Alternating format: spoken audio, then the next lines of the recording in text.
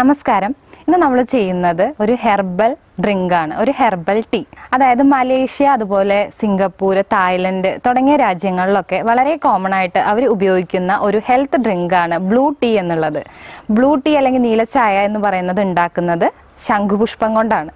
ശംഖുപുഷ്പം ഉണക്കി അതായത് ഡ്രൈ പൗഡറായിട്ട് അവിടെ ടീ പൗഡറായിട്ട് അവൈലബിൾ ആണ്. അപ്പോൾ നമുക്ക് അങ്ങനെയൊന്നും ചെയ്യേണ്ട ആവശ്യമില്ല. നമ്മുടെ തൊടിയിൽ നിന്ന് പോയിട്ട് ഈ ഒരു ശംഖുപുഷ്പം പൊട്ടിച്ച് ഫ്രഷ് ആയിട്ട് തന്നെ ഉണ്ടാക്കാവുന്നതേ ഉള്ളൂ. ഇതിന്റെ കൂടെ ഞാൻ കുറച്ചുകൂടി അതിനെ ഒന്ന് നന്നാക്കാൻ വേണ്ടിയിട്ട് കുറച്ച് തുളസി ഇലയും അതുപോലെ തന്നെ പനിക്കൂർക്കയുടെ ഇലയും പുതിന ഇലയും ഒക്കെ കൂടെ ചേർത്തിട്ടുണ്ട്. അപ്പോൾ ഒരു ഫ്ലേവറിന് വേണ്ടിയിട്ടാണത്. അത് കുടിക്കുമ്പോൾ തൊണ്ടയ്ക്ക് ഒരു പ്രത്യേക സുഖമാണ് നമ്മൾ ഈ ലെമൺ ടീ കുടിക്കില്ലേ ദിവസവും? അതുപോലെ തന്നെയാണ് അതിന്റെ കൂടെ ആ ഒരു നീല കളറിന് വേണ്ടിയിട്ട് ശംഖുപുഷ്പങ്ങൾ ഇട്ട് തിളപ്പിക്കുന്നു എന്ന് മാത്രം. അപ്പോൾ സ്വാഭാവികമായിട്ടുള്ള ആ ഒരു നീല നിറം കിട്ടുകയും ചെയ്യും.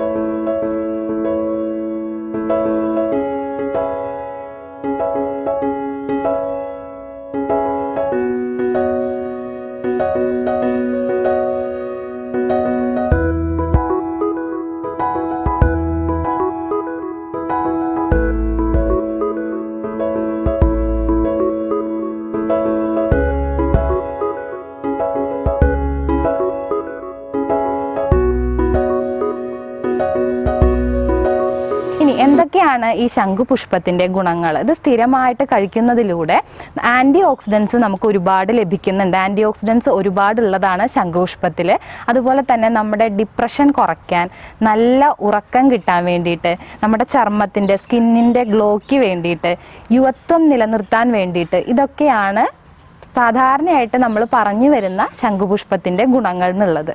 അപ്പൊ എന്തായാലും എത്രയും എളുപ്പത്തിൽ ഉണ്ടാക്കാൻ പറ്റുന്ന അത്രയേറെ ഗുണകരമായിട്ടുള്ള നീലച്ചായ അല്ലെങ്കിൽ ഹെർബൽ ടീ എങ്ങനെയാണെന്നുള്ളത് കണ്ടു നോക്കൂ. നമുക്ക് എപ്പോഴും ഈ ഒരു ബ്ലൂ ടീ ഉണ്ടാക്കുന്ന സമയത്ത് മൺകലത്തിൽ ഉണ്ടാക്കുകയാണ് നല്ലത്. അതില്ലെങ്കിൽ സാധാരണ പാൽപാത്രത്തിൽ ഉണ്ടാക്കാം. പറ്റില്ല എന്നല്ല. ഒരു ഗ്ലാസ് വെള്ളത്തിന്റെ അളവാണ് പറയണത് കേട്ടോ. അപ്പോൾ അതിന്റെ കൂടെ നമ്മൾ ഇടുന്നത് രണ്ട് തണ്ട് തുളസിയില ഒരു ചെറിയ പനിക്കൂർക്കയുടെ ഇല. ഇതാ ഇതാണ് മിന്റ് ലീവ്സ് അതായത് പുതിന.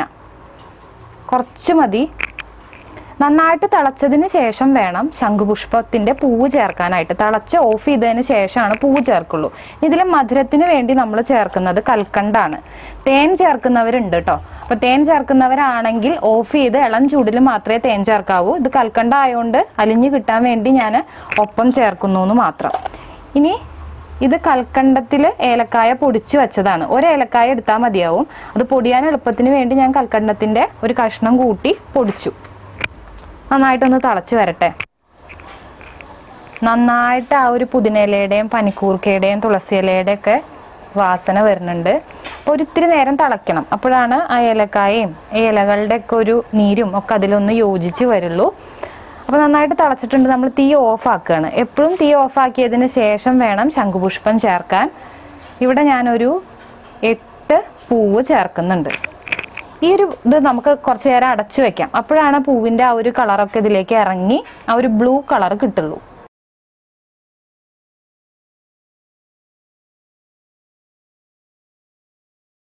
അരിച്ചെടുത്തിട്ടുണ്ട്. ഇപ്പോൾ ഒരു ഇളം ചൂട് മാത്രമേ ഇതിനുള്ളൂ. ഇനി ഇതിലേക്ക് നമുക്ക് ഒരു പകുതി ചെറുനാരങ്ങ കൂടി പിഴിഞ്ഞ് ചേർക്കാം. ശരിക്കും ലെമൺ ടീ തന്നെയാണ് അതിൽ ഈ ഒരു ശംഖുപുഷ്പം ചേർക്കുന്നതിന്റെ വ്യത്യാസമേ ഉള്ളൂ. ഇപ്പോൾ കണ്ടോ നാരങ്ങ ചേർക്കുമ്പോൾ കുറച്ചും കൂടി ഒരു ഡാർക്ക് കളർ വരും. കണ്ടില്ലേ? അപ്പോൾ എപ്പോഴും ചൂട് കുറഞ്ഞിരിക്കുന്ന സമയത്ത് അതായത് തിളച്ച ഉടനെ നമ്മൾ നാരങ്ങ ചേർക്കരുത്. ഇളം ചൂടിൽ വേണം ചെറുനാരങ്ങ ചേർക്കാൻ. കൽക്കണ്ടം ചേർക്കുന്നതിന് പകരം ചേർക്കുന്നത് തേനാണെങ്കിലും ഈ സമയത്താണ് നമുക്ക് തേൻ ആഡ് ചെയ്യാൻ പാടുള്ളൂ കേട്ടോ വല്ലാത്ത ചൂടിൽ തേൻ ചേർക്കാറില്ല. ഇളം ചൂടിലാണ് ചെറുനാരങ്ങ നീരും തേനും ചേർത്ത് കൊടുക്കുക. ലെമൺ പിഴിഞ്ഞു വെച്ചപ്പോൾ കണ്ടില്ലേ? രണ്ട് ലെയർ ഇങ്ങനെ സെപ്പറേറ്റ് ചെയ്തിരിക്കണ കാണാമല്ലോ അതായത് ആ ലെമൺ അടിയിലേക്ക് വരാത്ത ഭാഗത്ത് നല്ലൊരു സ്കൈ ബ്ലൂ കളർ കളറും അതുപോലെ ആ ലെമൺ ചേർത്ത സ്ഥലത്ത് പർപ്പിൾ കളറും ഇത് ഇളക്കുമ്പോൾ എല്ലാം മിക്സ് ആവും. എന്നാലും ആ രണ്ട് ലെയർ നമുക്ക് സെപ്പറേറ്റ് ചെയ്ത് കാണാം.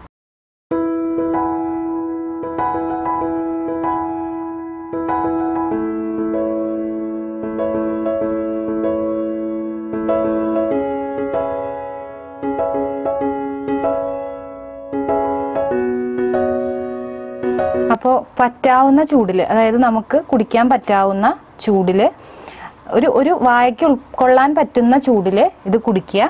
അപ്പം എല്ലാവരും ഇതൊരു ശീലാക്കുക. രാവിലെ നമ്മൾ ഈ ഹണിയും ലെമണും ചേർത്തൊരു ഡ്രിങ്ക് ഒക്കെ കഴിക്കില്ലേ? അപ്പോൾ ഇതിൽ ഒരു ശംഖുപുഷ്പവും കൂടി ഇട്ട് തിളപ്പിക്കുകയാണെങ്കിൽ വളരെ നല്ലതാണ്. ഒരുപാട് ആന്റി ഓക്സിഡൻസ് ഉള്ളതാണ്. അതിന്റെ ഗുണങ്ങളൊക്കെ നേരത്തെ ഞാൻ പറഞ്ഞതാണല്ലോ. എല്ലാവരും ട്രൈ ചെയ്ത് നോക്കണം. അഭിപ്രായങ്ങൾ കമൻസിൽ അറിയിക്കണം. പുതിയൊരു വിഭവമായിട്ട് വീണ്ടും കാണാം.